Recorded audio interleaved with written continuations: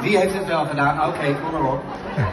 Nee jongens, ik zal het even uitleggen. We zijn zo technisch, dit kan af en toe gebeuren. Ik zal even de procedure uitleggen. Daarboven zitten onze technische mensen. Wat die nu gaan doen is het volgende. Die gaan naar de site. En dan gaan ze naar de, de uh, antwoord- en vragen dingen, weet je wel. En dan stellen ze hun vraag en dan krijg je een hele lijstje. Dan staat, zit uw antwoord erbij? Dat, en dat is waarschijnlijk niet zo. En dan gaan ze proberen wat nummer te achterhalen. Dat zoals ze allemaal weten een klerenklus is. Want je kan wat chatten met zo'n chatbot.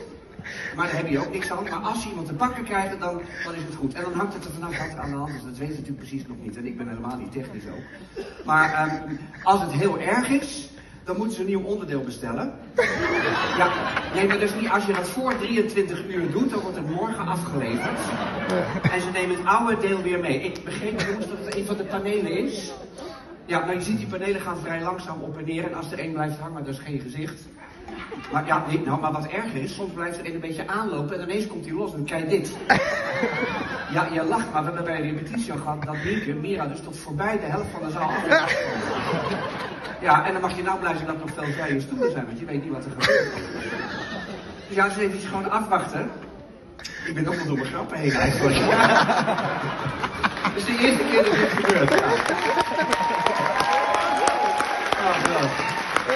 Oh, wat een heerlijk vak. Iemand verknalt iets en ik krijg applaus. wat, wat, wat, denk, wat denken jullie gewoon eerlijk? Dit zit er een, zit er nu, een musical part in voor me nu dit gebeurt? Oké, oké. ik krijg duimen. Maar ik begreep in ieder geval dat het iets met een van de panelen was. Dus ja, dat, dat, dat weet ik verder ook niet natuurlijk. Ik heb wel, nou, ja, want je ziet al die jonge stunten, hè?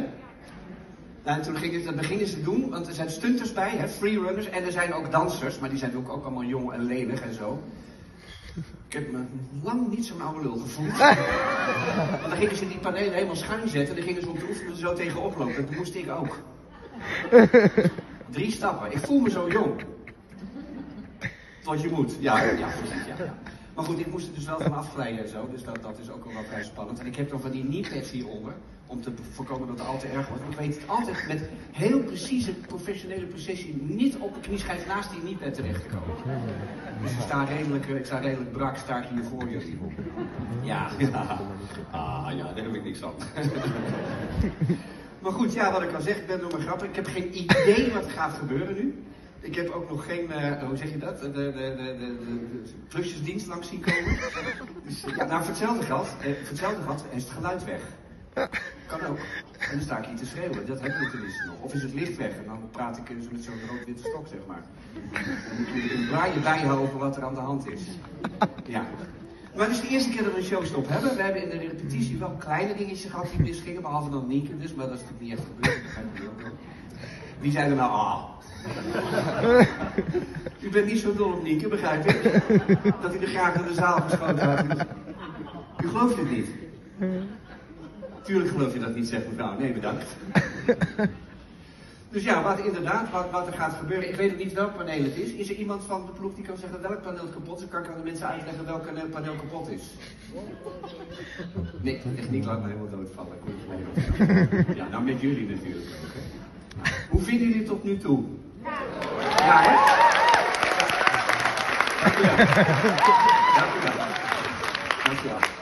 Ik ook. Ik, ik, mag het zeggen, want ik ben natuurlijk een beetje een buitenbeentje in het verhaal. Want het speelt zich allemaal 4.500 jaar geleden af. En ik ben van nu, zeg maar, min of meer.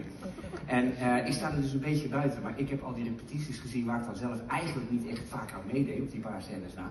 En ik vond het geweldig, echt waar. Echt, dit, is, dit is iets wat ik nog nooit gezien heb. En vinden jullie de muziek? Ja, hè? Ja. Enthousiast. Edwin Scheemschijmer heeft dat gemaakt en Marco Kuipers heeft het gearrangeerd. En er zitten heel verrassende, heel nieuwe dingen in. Dus uh, ja, ik, ik vind het echt geweldig. We hebben natuurlijk, uh, er zijn natuurlijk wel recensies verschenen, maar dat zijn dan van heel conservatieve mensen die al het nieuwe niet op waarde kunnen schatten in mijn ogen. Maar... Zitten er recensenten in de zaal? Oh oh. Dan heb ik het gedaan. Meestal zijn die al weg rond deze tijd. nou, om zo'n recensent weg te zitten, dat vind ik nou wel wat. Met dat vind ik nou wel een idee. Tim. Dankjewel. eh, Peter. Eh, dames en heren, helaas is het een probleem dat het iets langer gaat duren dan wij hadden gehoopt. Kan ik iets Eh, doen? dus wij vragen u om eventjes eh, eh, een extra drankje te gaan halen in de foyer. Daar staan ze voor u klaar. En eh, zodra wij weer klaar zijn als opgelost hebben, gaan we weer verder met de show. Alvast hartelijk dank. Oké jongens, tot straks. Veel plezier. Eh,